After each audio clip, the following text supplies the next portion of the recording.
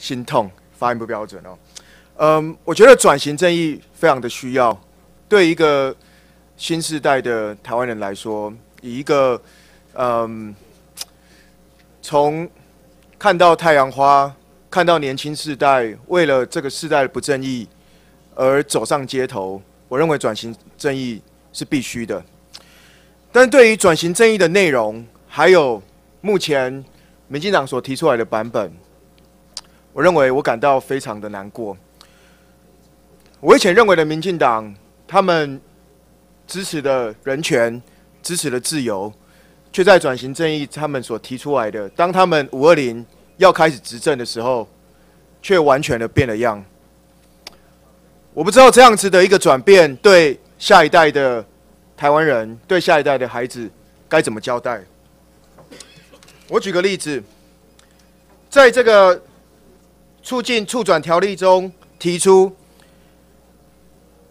警察连个人的办公处所、营业所都得派员前往调查勘验。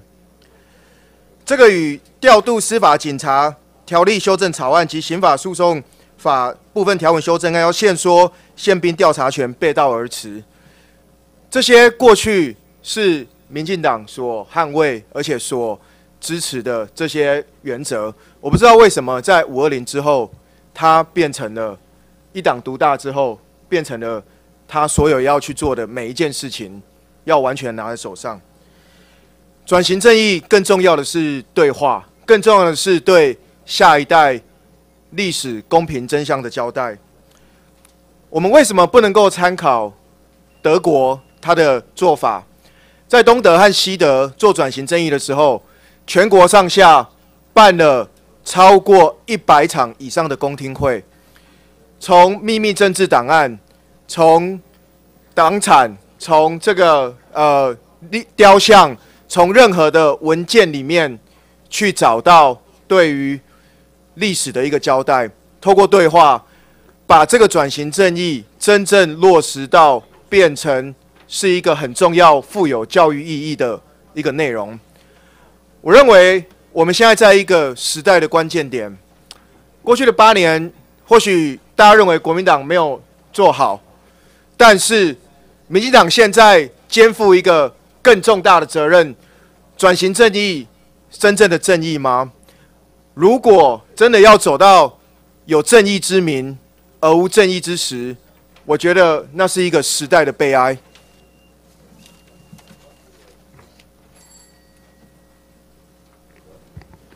讲好了是吧？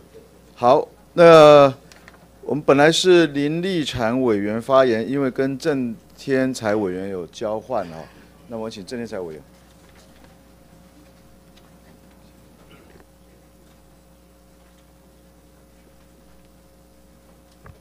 呃，主席，呃，各位委员，呃，今天呢安排这个法案的一个审查哈，呃，我是认为非常的。不是时机了，因为现在看。